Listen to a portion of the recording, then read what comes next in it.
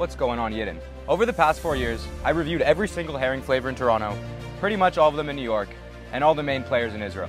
I know what works, I know what doesn't work, and I know what could be freaking awesome. So, over the past few months, I've teamed up with Nuage Fish here in Toronto, and we have created the perfect herring. Right now, the Gishmak herring line is out in four different flavors. We got the honey Dige, barbecue flavor, chipotle mayo, and OG schmaltz. Couple things to note, this is the first time barbecue herring has ever been done, right here, Gishmak herring. And also, this isn't just regular schmaltz herring, this is OG schmaltz herring that tastes like the shtetl. You're all probably wondering, how can you get this herring?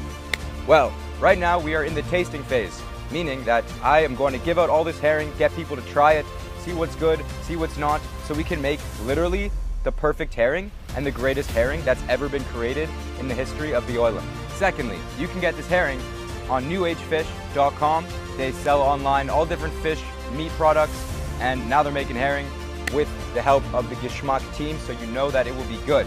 We're also going to try and get this herring in stores. We believe that we'll be able to because it's going to be the best freaking herring of all time. And there's one thing left to do in this video, and that's to have the first official tasting of the Gishmak herring herring. You know, obviously, we're going with the honey Dige.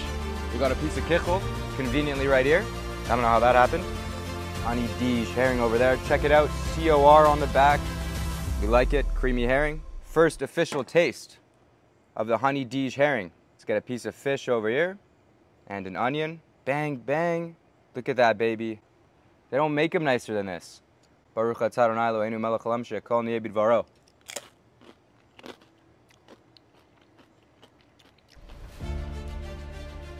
Ladies and gentlemen, we freaking did it. Tastes like honey, tastes like Dige. Get pumped. This is actually freaking insane. You got Gishmak herring, herring. And also, one last thing, Yidden. Let's tell the world about this. Share Instagram, YouTube, TikTok, WhatsApp. Share with everyone. Let them know that there's new herring in town. And we're just getting started. Mashiach now.